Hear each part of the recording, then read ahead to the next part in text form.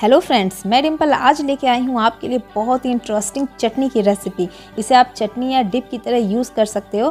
तो यहाँ मैंने तीन केले लिए तो ये चटनी केले की नहीं बनने वाली है, बल्कि केले की छिलके की बनने वाली है। तो सबसे पहले केले से छिलके अलग कर लेते हैं। गुद्दे का यूज़ कर लेंगे हम किसी भी सब्ज़ी या कोफ्ता बनाने में तो छिलके का काम है हमें तो मैं छिलके अलग कर लेती हूँ तीनों केले की।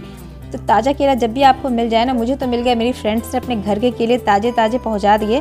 तो मैंने सोचा कि इसके छिलके का भी यूज़ कर लेते हैं। तो थैंक यू मेरी फ्रेंड को कि इतने ताज़े ताज़े टेस्टी केले देने के लिए।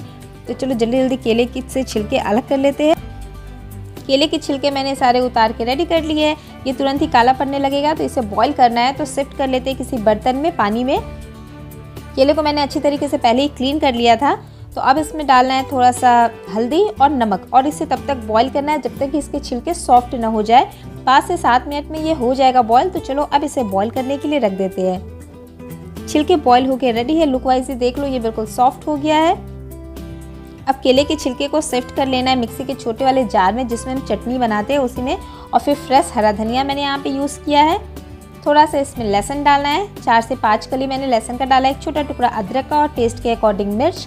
और फिर इसमें जाएगा नमक। इन सभी को डाल के इसे बारीक पेस्ट तैयार कर लेना है। ये बारीक पेस्ट रेडी हो चुका है। अब एक पैन मैंने यहाँ पे हीट होने के लिए चढ़ा दिया है। इसमें डालते हैं मस्टर्ड ऑयल मस्टर्ड सीड्स और थोड़ा सा हींग। इन सभी को डालने के बाद जो पेस्ट हम लोगों ने रेडी किया था, वो सभी को इसमें ट्रांसफ़र कर देते हैं। कुक करने में बहुत ज़्यादा टाइम नहीं लगेगा। आपको उतना ही टाइम लगेगा जितनी आपको कंसिस्टेंसी चाहिए। चटनी की उसके अकॉर्डिंग इतना कुक करना है तो पीसते वक्त मुझे पानी लगा था थोड़ा। तो बस जितना मुझे गाढ़ा करना है, उतना इसे कुक करना है। चार से पाँच मिनट लगातार कुक करते हुए रेडी हो चुका है। चटनी तो गैस को कर देते हैं और ऑफ़ और थोड़ा सा इसे चटपटा बनाने के लिए लास्ट में कुछ भी खट्टा इसमें डाल देते थे नींबू निचोड़ देते हैं। हाफ़ नींबू मैंने इसमें ऐड कर दिया है और इसे कर देते हैं अच्छी तरीके से मिक्स जितने महँगे महँगे हम लोग डिप बनाते हैं म्योनीस का यूज़ करके पिज़्ज़ा पास्ता सॉस का यूज़ करके, उन सभी से बेटर है। ये ऑप्शन हेल्दी भी है टेस्टी भी है और यूनिक भी है।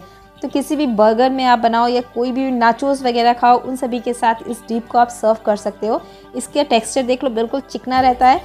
लुक वाइज बहुत ही इंटरेस्टिंग लगता है टेस्ट ही बहुत डिफरेंट रहता है। मिलते हो अगली यूनिक रेसिपी के साथ, तब तक के लिए बाय